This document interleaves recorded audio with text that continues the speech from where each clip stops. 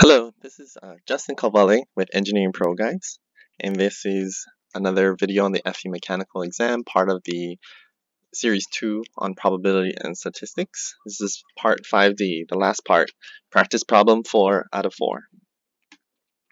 In this problem, it's a normal distribution problem, and it reads, assume a normal distribution curve for this problem the mean is 10, the standard deviation is 2. So what is the probability that the measured value will be greater than 13? So for a normal distribution, you have to get the, um, you need to first convert your tested and measured value of 13 to standard deviations because the normal distribution table is shown in standard deviations.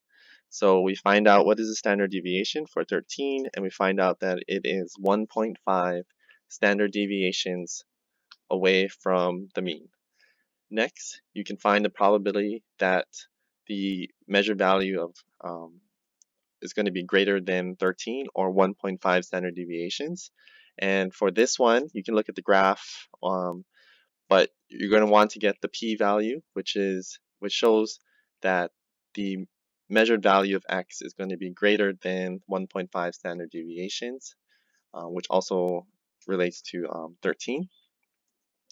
And from that table, you will see that you get a value of 0.0668.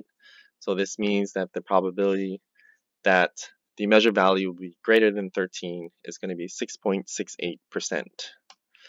So our correct answer is going to be A, 6.7%.